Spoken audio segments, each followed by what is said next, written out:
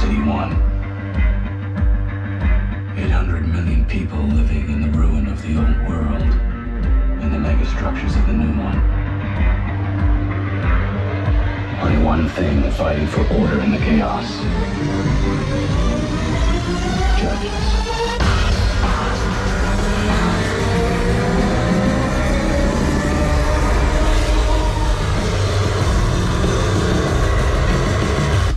Dredd is an amazing movie and you should all go watch it. Now, um, because people are going to ask, and they always do, I'll include one or two or ten wallpapers.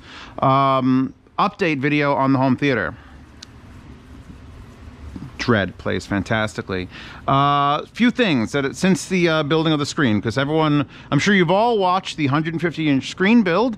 Uh, it is holding up beautifully. None of the glue has given up. It hasn't sagged. I've had to tighten uh, and adjust sort of like the tension on some of these. Just, you know, give it like a squeeze and see where it's settling. And then, you know, tighten it so it's got a perfect tension.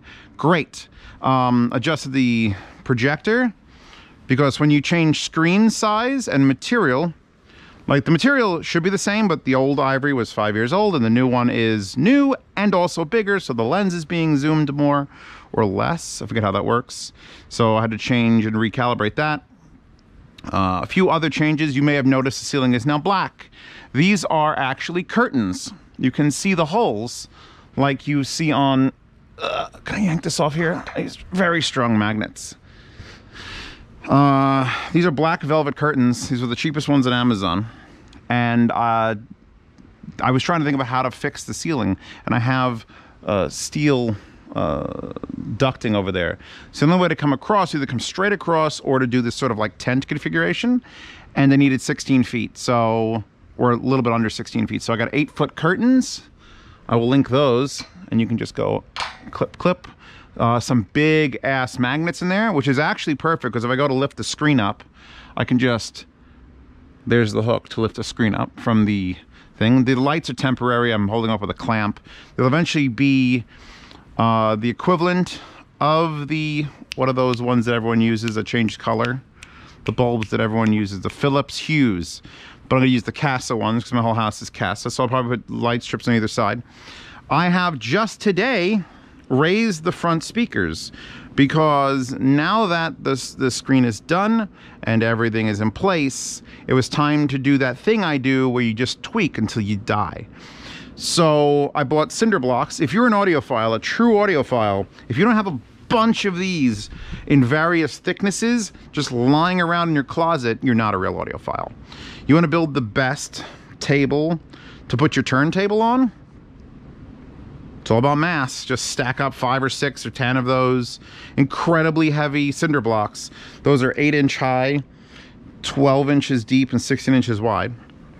I bought four just in case I needed to go, because there's several dimensions I could use. I can go this high, which is how I've done it, or I could have put them on end like this and gone this high, or if I really needed to, I got to put two of them in like that and gone that high and brought the speakers up.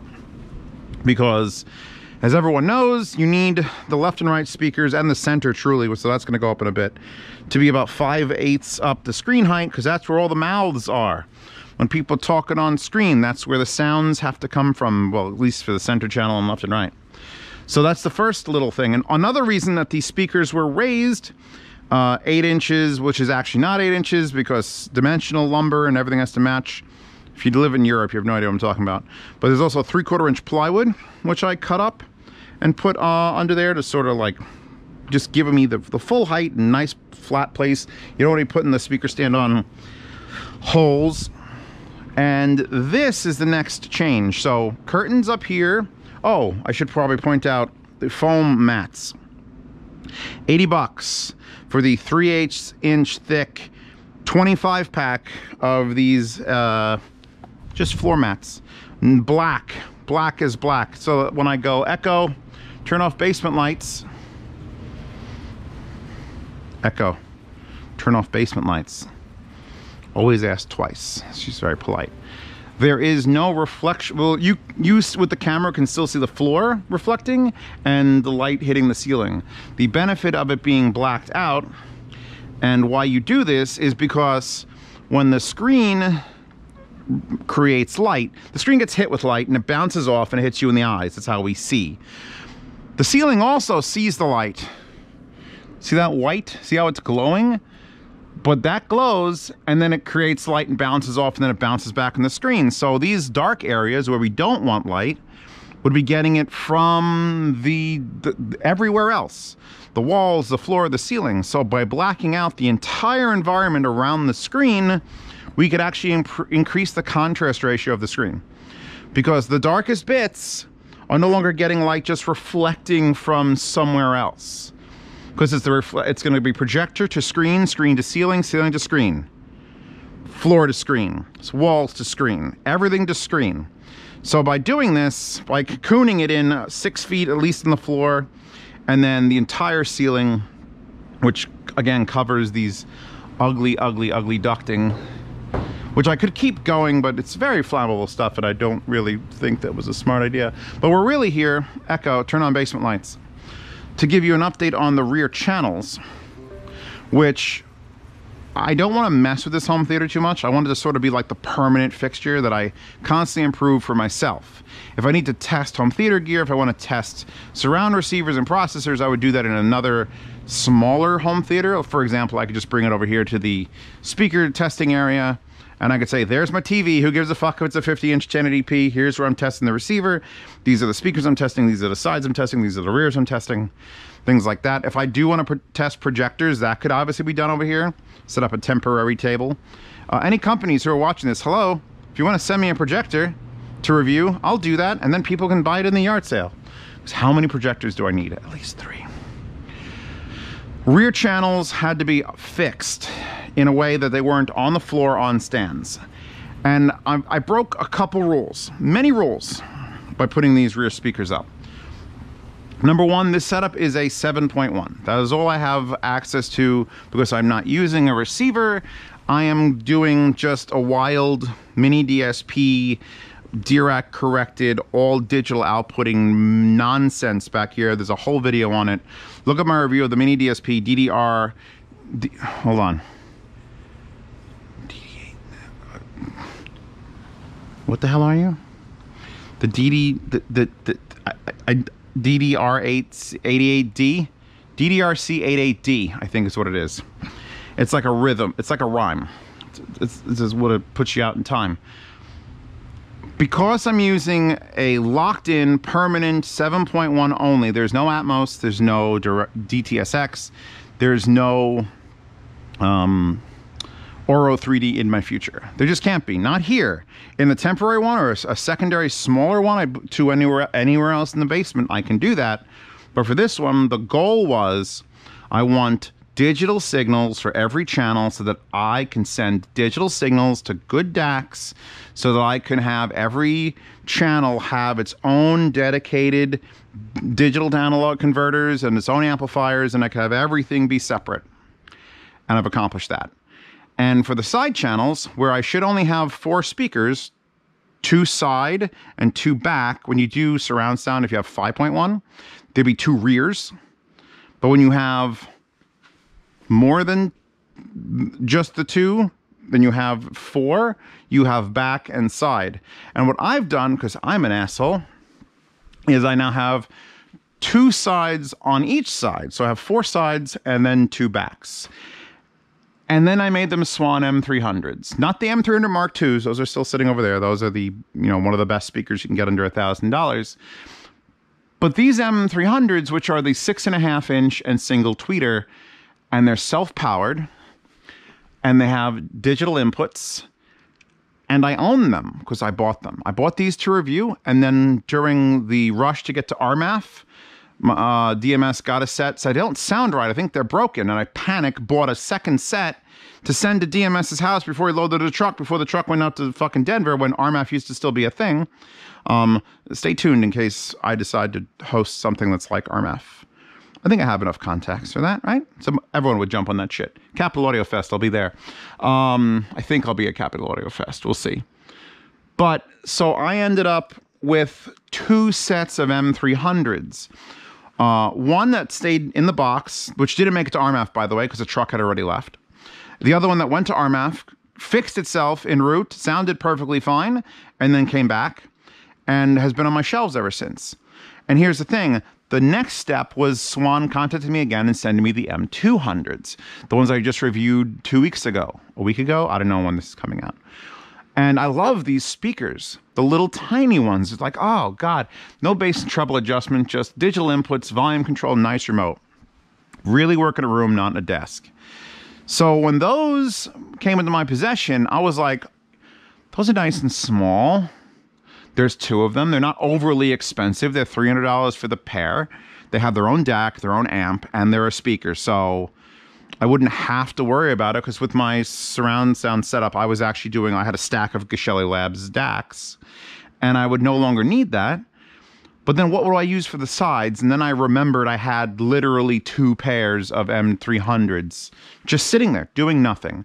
Now that the Mark II M300s are out, I would never touch these. Probably I could sell them in the yard sale or hang them on my ceiling. So I should probably say how I'm hanging them on the ceiling because that is a very, very interesting on my Twitch live streams. I was I was troubleshooting this or brainstorming this, I guess. By the way, best best ladder ever, metal chair. And this was the thing that we all found on Amazon. It is a monitor mount for like mounting a computer monitor to a wall. And it has articulation left and right. And then the actual plate is attached with a cup that is nylon so that you can rotate it 360 degrees or tilt it in there. So I can rotate this speaker and if I grab this, I can tilt it back or forward like that and then adjust it and it will swing this way also if I need to, but it's just gonna hang down because these speakers weigh like 35 pounds. So that is an amazing amount of articulation.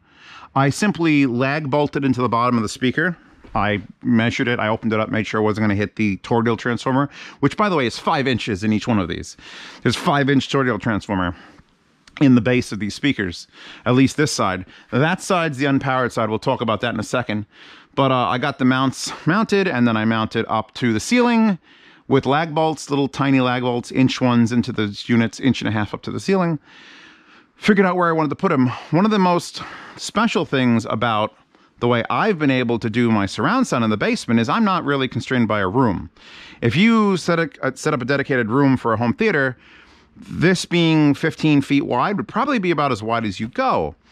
But I've got a giant 3,000 square foot basement, and if I don't want the rear speakers to be anywhere near this person, this participant, you know, one of the limitations, one of the things I hate when I talk about uh, home theater is when people put their rear channels like here like right fucking here. And this person dies, and that person has no idea what's going on.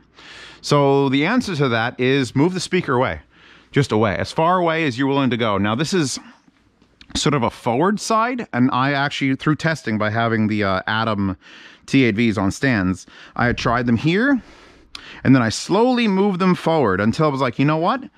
If I put a side speaker here, every single head has direct line of sight to the speaker, and it blends beautifully for when things are traveling off the screen to the left channel, which always has to be off of a screen. I refuse to put a center, a um, left and right of a home theater behind a screen because if you really watch a movie and really listen, when things move to those side channels, it's usually when they move off the screen. I could probably even stand to move those further out if I felt like it. But when things move center, left, to the rear, when they transition, if you make this gap, this angle, which we get to the middle, if you make this angle too great, it disappears because it can't quite nominally fake that. So by having it go from there just to there, instead of from there all the way to there, sort of help. Now, why do you have two side channels, EOS? Because I can. That's number one. Number two, because I have such a large space I'm trying to cover, and they're getting the exact same signal. I'm actually splitting the coaxial digital output of the DDRC88D. That's it. I got it. You just had to. I'm splitting it in a way that is almost. I feel guilty in the way I'm doing this because what I have here are coaxial to toslink and toslink to coaxial converters, where you feed it a signal I'm feeding it this signal from that DDRC88D. it is being told this is the input of a coaxial digital, and then you have the option to output both fiber optic and coaxial digital. And what I did is I've output coaxial digital to one of these speakers and fiber optic to another converter, which is then outputting to coaxial digital, which is outputting to the other coaxial digital. And that could be replaced with a um, mini DSP Nano Digi if I really wanted to get creative. And because this is only getting one channel, this is getting right side and they're playing exactly the same time, exactly the same thing. If I wanted to be, you know, an artist and I wanted to create delays between the two of them or have that one go first and this one go second or anything like that or change up how they do it, I couldn't do room correction in that way because the Dirac is only going to recognize this as one channel. But I want to do that, I can get a different method of splitting that, but we're, we're not interested. Echo, turn off basement six. There we go. Um, one of the other things, all right, wait, before I get to that. So the wire that connects usually the swans from left to right is, do I have one hanging out here? I have one, but I probably put it away. It's a four pin, I could pull this one out if I'm real careful. Here, it's one of these, usually has a screw terminal, it's gold, you've seen them, and it's four wires and it's connected to tweeter and woofer from the amplification unit in this. So the DAC is in here, and then it says I'm the right channel and it says I'm the left channel and that's what it does. So to feed the other side, I needed to go and find these exact connectors and then run my own cables across the ceiling to go from here to there, which was quite a long run. And you can see I've made it rather neat actually. Um, coaxial digital is here. I just changed to these 15 foot white power cables, which are going with it because you really can't fuck up uh, coaxial digital by having a run in parallel with 110. So that's going there. So they're all controlled all at once. And then here are the 14 gauge four conductor speaker wires. I have to clip these off, but they go here, here, here, straight. I actually use a network cable to feed it along the ceiling. You can see them sort of hanging out here. I could tuck that back under. Yeah, they run, they go from the, I pulled them both over and then spread them out and then they go above the paper in here and they all got custom soldered. I did that on live stream. So I soldered all the connections together, plugged them in. So now those speakers getting the signal, they're the volume adjustment, which we have to talk about also. And it's getting fed over here to this speaker and that speaker and everything's happy. The rears, same thing, or the, yeah, backs, same thing, I should say. Uh, this actually has the original stock cable from one of those 300s because it was way short. So it goes screwed in across the ceiling to that. That's the slave unit. This is the master unit. It has got coaxial digital and a plug, and it comes over here along the pipes, and it all gets plugged in. That's a good one. It all gets plugged in to a three-way uh, switch I've got here, which is hooked up to currently actually my kilowatt, because I wanted to know how much power these are all drawing. When they're on and idle, all three Swan powered speakers draw 117 watts. That's not a little, but not so much that it's killing my whole soul. So let's unplug this actually, because I'm done with the kilowatt. You could see the Kasa switch there, which controls power, because at night, when I'm done with this home theater, I have uh, Kasa switches that turn off everything. Um, behind the screen is one Kasa switch on a power strip, and into that power strip is the left crown, the right crown, and the other Swan uh, M500s that I have back there. And when they get turned off at night, it's that's it. There's no power draw because these I don't believe will go into any sort of sleep mode, which my electric bill was $425 over the summer and I that's probably a lot of air conditioning, but at the same time, I'm just trying to like cut back on just leaving everything on all the time. It, it's bad voodoo. It's just bad voodoo. So when I am done with watching movies and actually the Kasa stuff is great because you could assign a bunch of different items to do like if I wanted to say I want to watch a movie now and then it would be okay shut off all the lights in the basement turn off turn on all the amplifiers I could actually probably set up I could actually probably set up a trigger for the projector also. There's a trigger out. I don't think there's a trigger in. That's unfortunate. Oh, that sucks. If there was a trigger in, then you could run a 12 volt transformer on a Kasa switch. When it goes click on, this would turn on and just turn on the projector. But I don't think it does that. Um, excuse me, Asuka. We're very good art rendering of Asuka. So that covers the rear channels. Basically, they're all using the same monitor mounts. I basically place them by sitting in the middle and just going, okay, where do I want sound to come from? Beep, beep, beep. Because I had originally, when you were watching me build the screen, I had the set of JBLs clamped here, literally wood wood clamps to this metal beam. And that was a little bit unrealistic to keep forever and ever and ever because it's where my head is. I can actually walk completely under this and I'm six feet tall. So that's that's a benefit. No one's gonna bang their head unless they're gonna they're you know six foot four, then they have to worry. So in order to get them out of what I thought was like perfect position, because this was like a perfect back speaker position, I had to move it way the hell over here which at some point I had gone from here to there just to sort of spread it out more. And once these were here, and they, they look close together, but uh, I can't spread that one any farther because I can't spread that one any farther. Once I had these in position, having the side speaker all the way up there meant that was the gap in angle. And I'm like, I can't live with it too far apart, so let's add another speaker. And it's worked out fucking full. I was gonna say flawlessly, then I was gonna say phenomenally. Oh, here's that wire. This is the normal one. The one for the uh, the Mark II has six conductor because it has ugh, way more drivers. This would be a waste of putting up there. Now, my usual um, statement is don't spend a lot on rear channels. Don't spend a lot on rear channels. Just put them up. They just have to make sound. They're sound effects channels. And that stands true. These speakers, if you really calculate out the cost, if I bought those for 300 and I actually did buy these, they were like $520 each pair. So 520, that's, that's 1040, that's 1340 for everything for six speakers with their own DACs. That's another thing. They have to have a DAC, their own amps, and they look fucking and they're fucking swans. So they that's it. You're done. You you got you you done got swanned, bro. So now I have a center channel that's a Swan M500. In case you didn't see that during the uh, the screen build, I have a Swan M500 behind the screen. I, I'll have to lift it up. Echo, turn on basement six. I haven't lifted it up in a bit. I haven't had a need to, but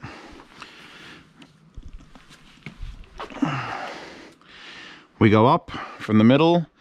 You have to sort of like, oh, I have included, I finished these uh, spring and I've just tied it a zip tie on it. So look, I pull that and this little hook thing just comes out. When I'm not using it, it retracts. And it's not super hard, so it's not gonna do anything weird.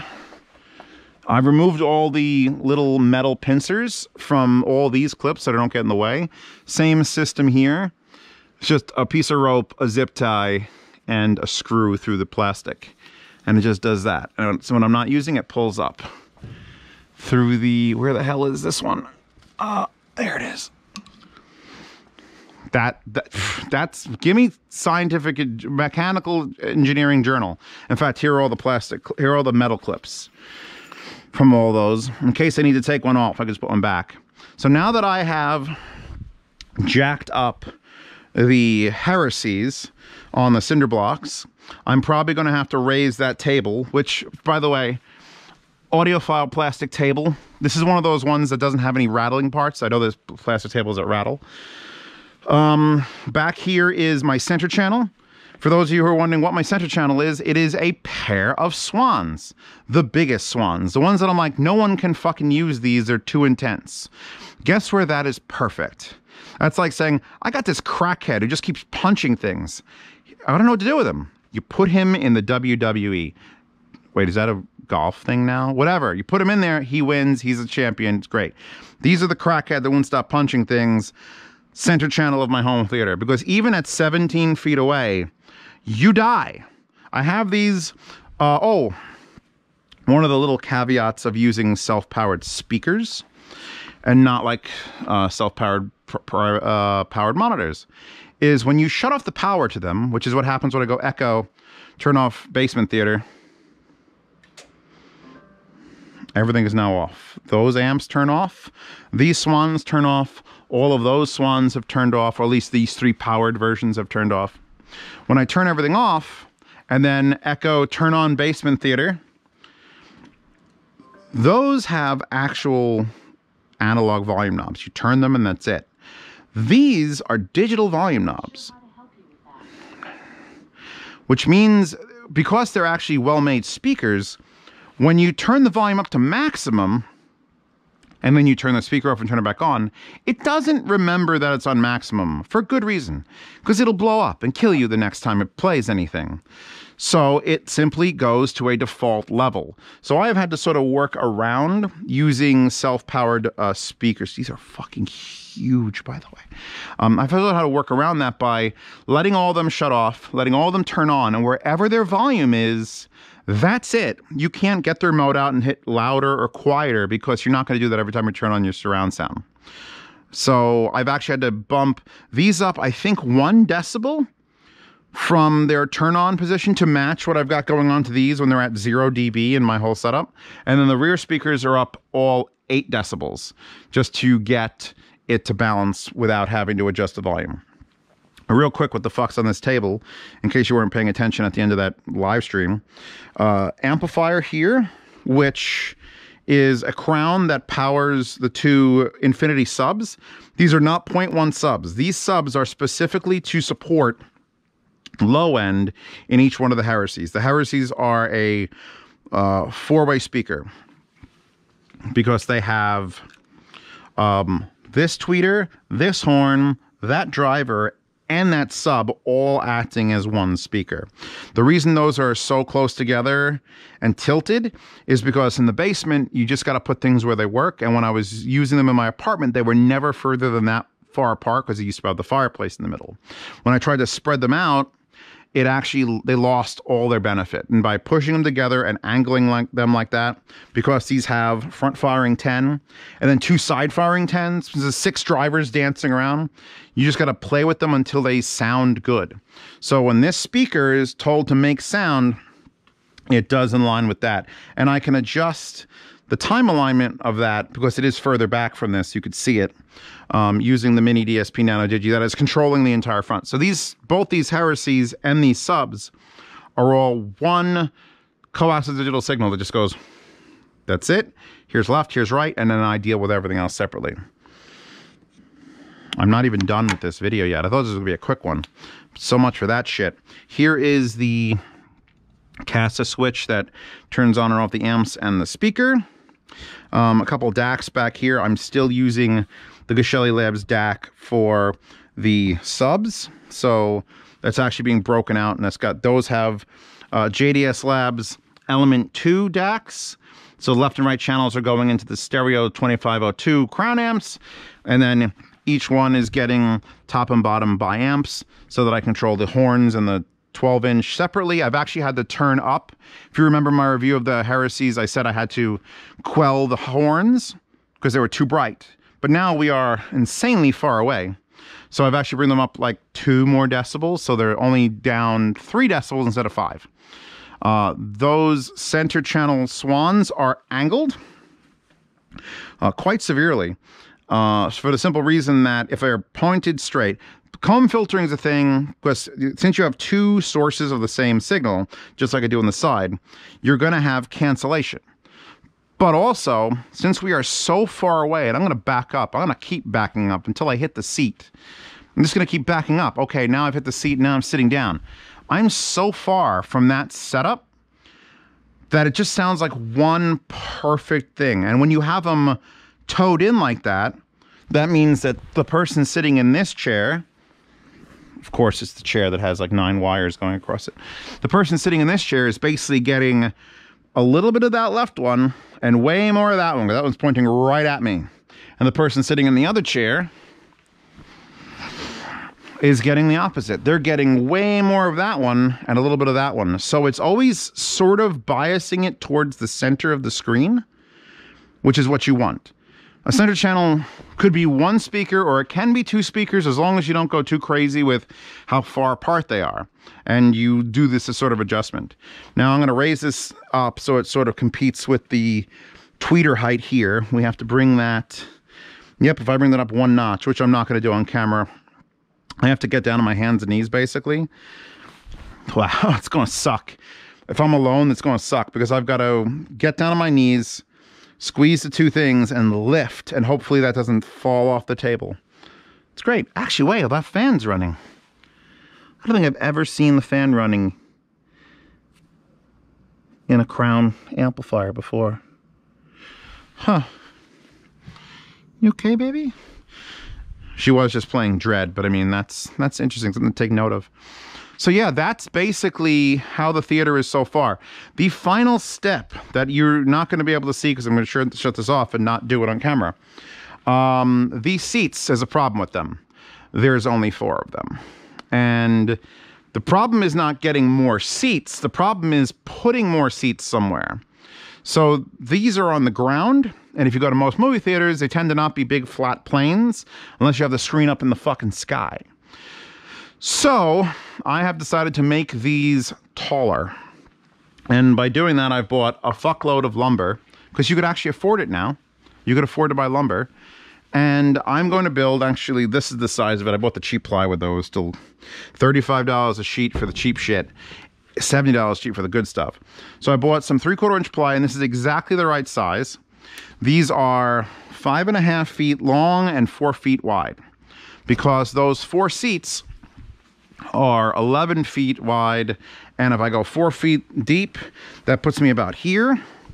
I'm going to build a box. I'm actually to build two boxes with wheels underneath them that the chairs can, I'm going to push the boxes together, carpet those boxes, put these seats up and on top of them, and gain eight or nine inches of height, which will put my head around here which is perfect because there's my left and right.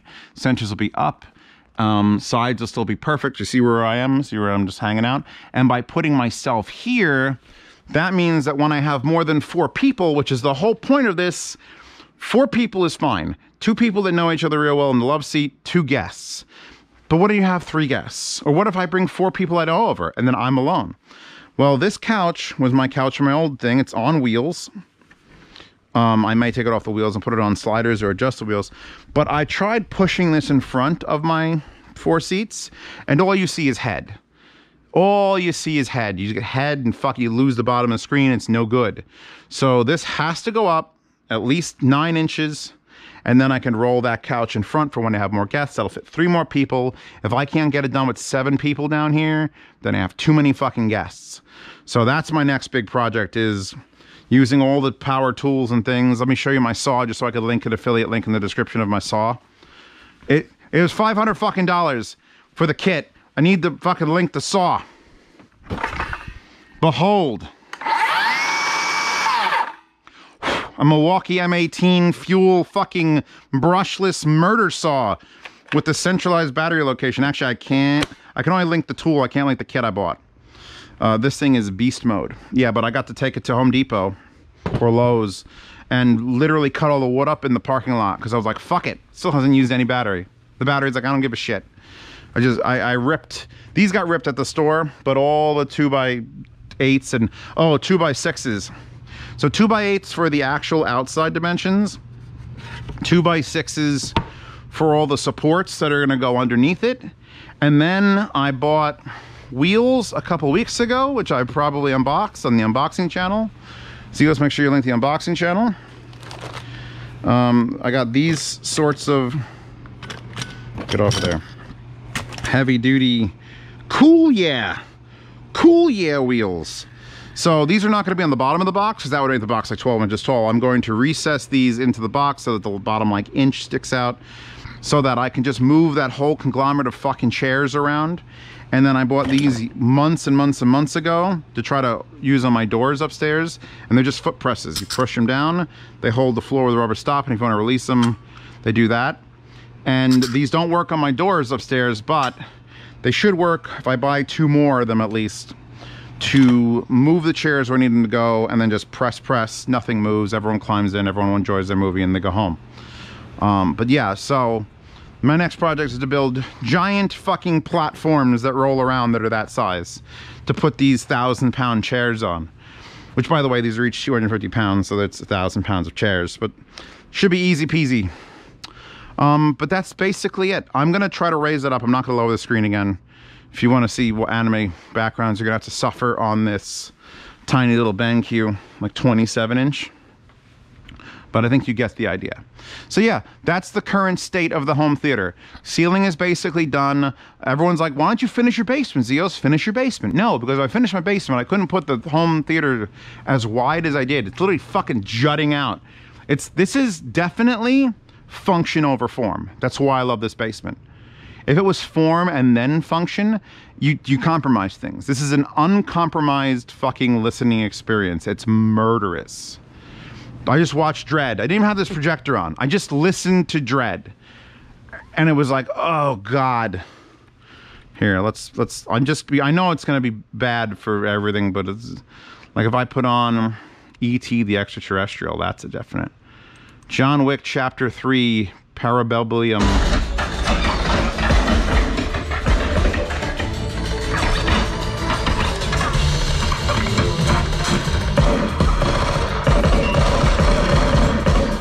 Can't tell you how much that's the swans. In fact, no, wait, that's a lie. I can absolutely tell you how much that's the swans in front because I go here and I just mute those.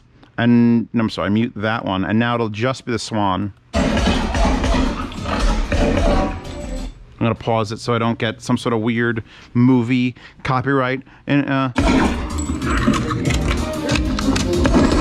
fuck you. Fuck you. These speakers are too fucking loud. That's their default on volume. Do you understand that? I didn't raise the, I don't even know how many clicks up it is, but whatever it is, if you turn it off and turn it on, that's their volume. That is all of,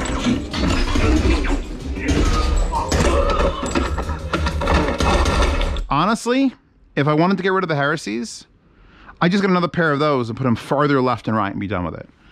They're so fucking loud. They are perfect for what I do because they can do John Wick Parabellum and then they can do, you know, singing and dancing. What do I have a singing and dancing song? Like, what's the good? Joker's got a good. uh, Why am I filming this for? I'm sorry if you haven't made it through. Oh shit! There you go. I know I'm gonna hit a ballad like right here.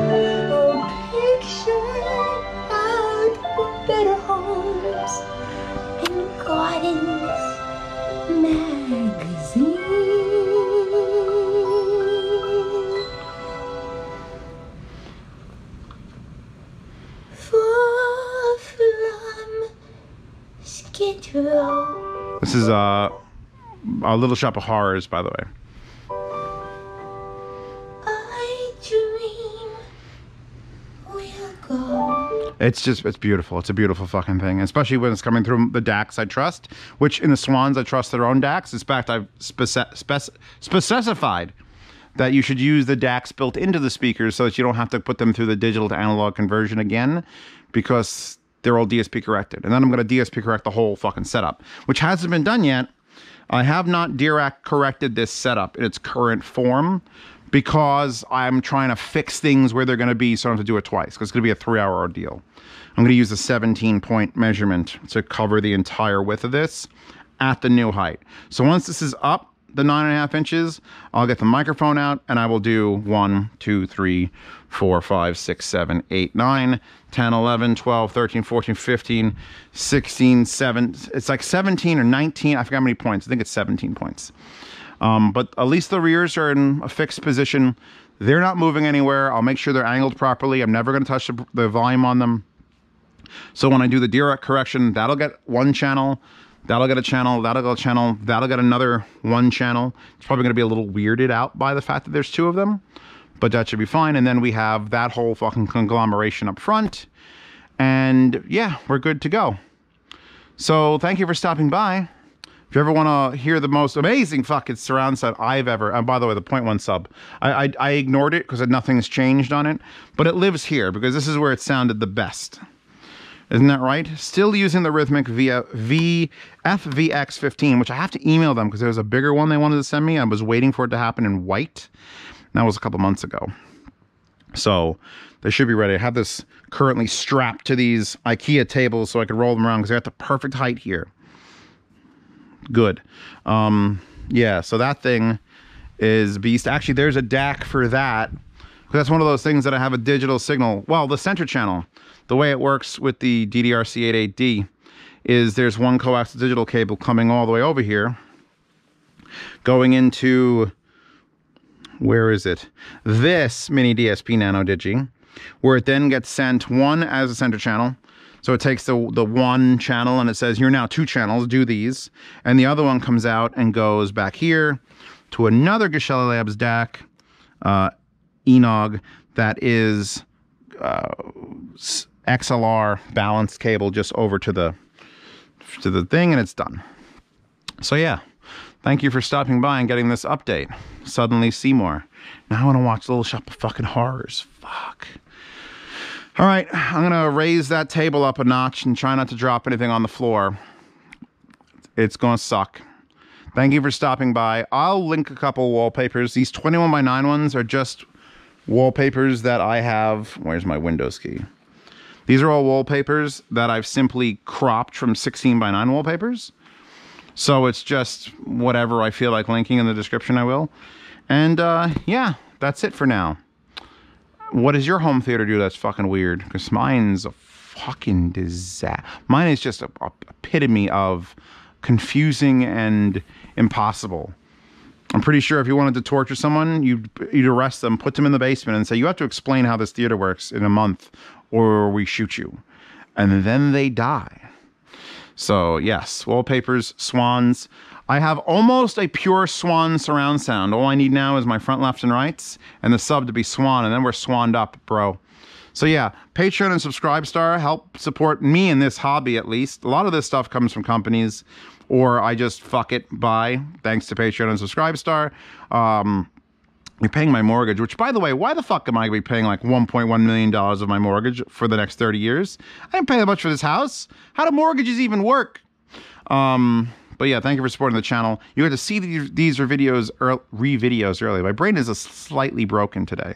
See videos early, participate in yard sales, and sound demos. 200 sound demos got martyred and sent away to the to the to the afterlife. So all those dead sound demos, if you want to get them back, there is a private. Hold on, I can actually show you if I go to the Oasis chat. Oasis. Zeos sound demo Oasis. There you go. So here you go. Here are all the sound demos that I've ever recorded, and any of the newer ones at the bottom are all actually the FLACs from the recordings. Whereas all these old ones, the Swan DIY 3.1s, D1090s, stacks, these are all in FLAC, but ripped off the videos in whatever format they were encoded to, probably MP3 320, and then just preserved in FLAC. So there's no extra compression. But you won't get any YouTube compression. This is all free of YouTube compression at least, and the newest ones are actually FLAC. So if you want to listen to actual FLAC sound demos, uh, $5 tier lets you access that. Um, $10 puts you in the behind the scenes private telegram chat where those people know exactly what I'm doing all the time. And if they're like, hey, Zeos, how did you do this? And I'm like, here's how I do this. Also, the, the moving mats are back there against the wall. I could do two more, but honestly, I don't think there's too much reflection happening off those little cubby holes since 90% of it's coming out of the center channel and those are just surrounded by curtains anyway.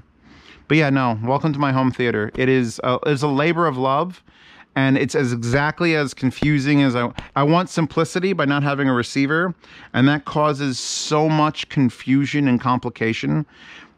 I just I love it. It's my favorite thing. So yeah, that's it. Thank you for stopping by. I'll see you in two days for a normal video. And if you're looking for the review series, that'll be up on the sound demo channel, which is also linked down below, uh, where all the sound demos get uploaded. So when I upload all the sound demos, I go there. And uh, apparently, I'm going to be sticking the reviews there too, because those always got low views. And if you're if you want to know what I did in the past, and I will re-review things, that's where it be. Good, good. Thank you. Time to climb under that like a dog. I'll see you, baby. Let me ask you something. Real quick. Does this thing scare you? Look where the mouths are. Would you like if I took this thing and made straight for your goddamn incisors? No. It hurt, right? Mm-hmm. You'd scream, right? Mm-hmm. Well, get your ass in here! Perfect. Hey, don't I know you? Yeah, Seymour Krelborn. We met yesterday. Oh, your mouth's a mess, kid. Oh, that wisdom teeth. We'll just rip that little bugger right out of there. What do you say? No,